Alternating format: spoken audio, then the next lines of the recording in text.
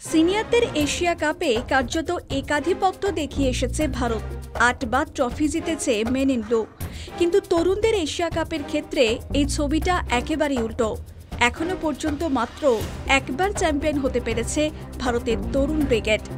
দ্বিতীয়বার ট্রফি জয়ের লক্ষ্যে ভারত শনিবার থেকে অভিযান শুরু করছে তিলক ফার্মারা এই টুর্নামেন্টে ভারতের গ্রুপে রয়েছে মোট চারটি দল।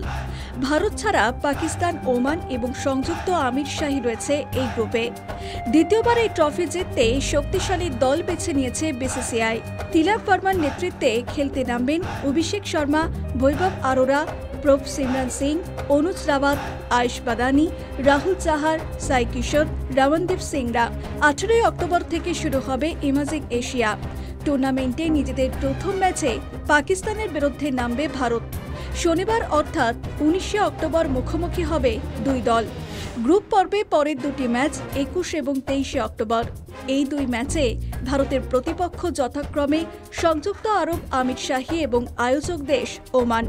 টুর্নামেন্টের অপর গ্রুপে রয়েছে শ্রীলঙ্কা, বাংলাদেশ, আফগানিস্তান এবং হংকং। প্রত্যেক গ্রুপ থেকে সেরা দুই দল যাবে সেমিফাইনালে। সাতাশে অক্টোবর টুর্নামেন্টের ফাইনাল। টিভি এবং ফোনে কীভাবে দেখা যাবে তরুণদের এশিয়া কাপ? টিভিতে স্টার স্পোর্টস চ্যানেলে সরাসরি সম্প্রচার হবে টুর্নামেন্ট। ফোনে অবশ্যই টুর্নামেন্ট দেখা যাবে ফ্যানকোড অ্যাপে। ওমান ক্রিকেট একাডেমির মাঠে গোটা টুর্নামেন্ট খেলা হবে। স্পোর্টস ব্যুরো, নিউজ বর্তমান।